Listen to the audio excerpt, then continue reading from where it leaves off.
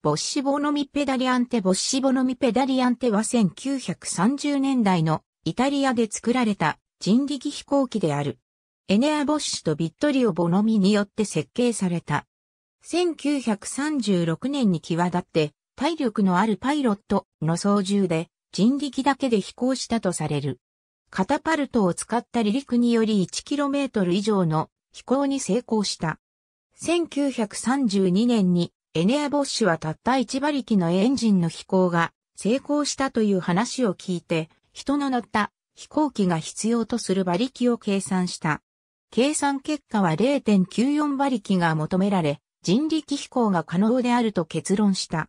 フィラデルフィアに旅行した時、牽引されて離陸するグライダーの速度を調べ、プロの自転車選手を雇ってグライダーを牽引させた。はかりを牽引ロープに取り付けで牽引する力を測定した。結果は上昇に必要な速度は実現可能であることを裏付けた。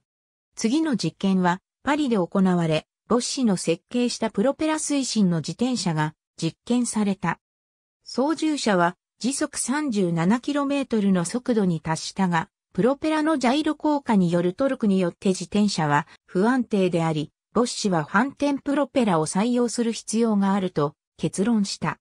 1933年にフランクフルト工業協会が人力飛行の成功者に賞金を出すことを決め、当時ドイツの活動をイタリアが真似ることの多い時代であったので、イタリア政府も 1km 以上を人力飛行機で飛行したイタリア人に10万リラの賞金を与えることを発表した。ボッシュはアメリカの市民権を得ているので、受賞資格はなかったが、挑戦を行った。ペダリアンテと名付けられた機体は、一般的なグライダーの特徴と構造を用いた。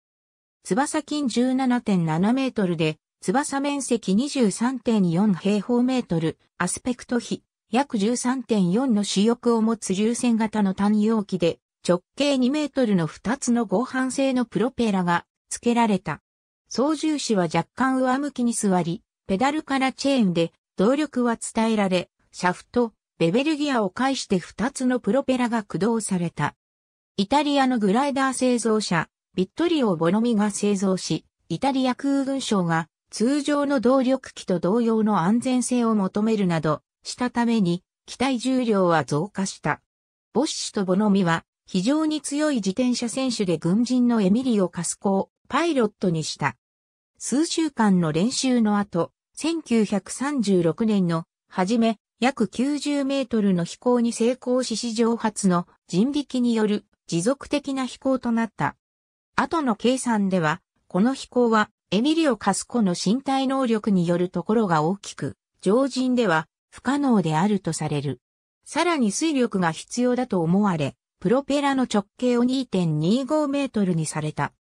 水力を増しても要求される 1km の飛行を行うためには重量型であることが分かった。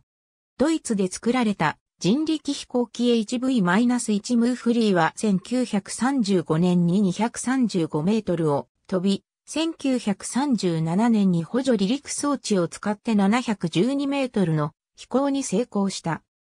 9メートルの高さのカタパルトを使って1936年9月13日に数百メートルの飛行を行い、1937年3月18日、ミラノのチニゼロ空港で9メートルの高さから離陸して1キロメートルの飛行に成功した。カタパルトの使用は許さない規則のため賞金は得ることができなかったが、ドイツのムーフリーと並んで、当時としては最も優れた人力飛行機であった。ありがとうございます。